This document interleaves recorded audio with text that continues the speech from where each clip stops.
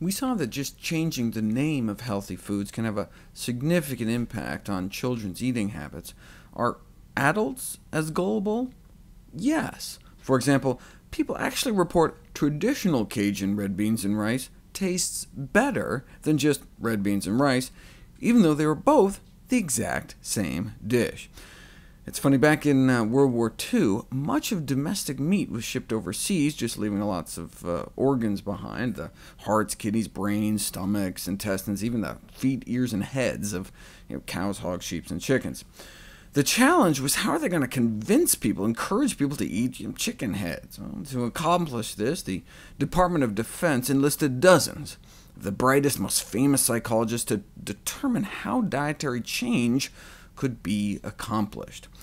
Apparently taste wasn't the problem. People would eat brains as long as you didn't tell them they were eating brains. So the solution was to invent mystery meat. Just don't tell consumers what they're eating. And the same can apply with healthier foods.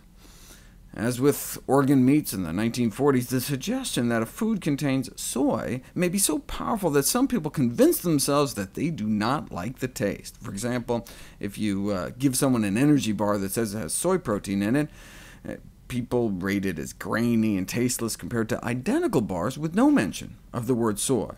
In reality, there is no soy in either of the bars. It's what you call a phantom ingredient taste test. Simply the suggested presence of soy made people believe they tasted it, and they evaluated it accordingly.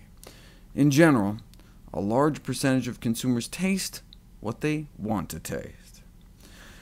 So can you use the same vegetable sneak attack tactic so successful in children? Covertly adding hidden pureed vegetables to meals works for adults too, and even for vegetables they didn't like. It was shown that the adults' dislike of the vegetables that were incorporated into the entrees did not affect the consumption of the vegetable-enhanced entrees. Who couldn't use a little vegetable enhancement? This indicates that the incorporation of pureed vegetables into entrees increased the intake of vegetables even when the added vegetable was disliked, the big babies. And of course, the more vegetables you eat, the less calories you get, so the, you get a twin benefit. Right? They were eating up to a pound of vegetables a day and 350 fewer calories. Right? More food, less calories. Keep that up, you could lose 30 pounds a year without even trying.